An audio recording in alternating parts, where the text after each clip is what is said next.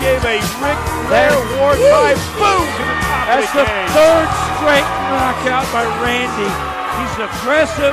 He does not take prisoners anymore.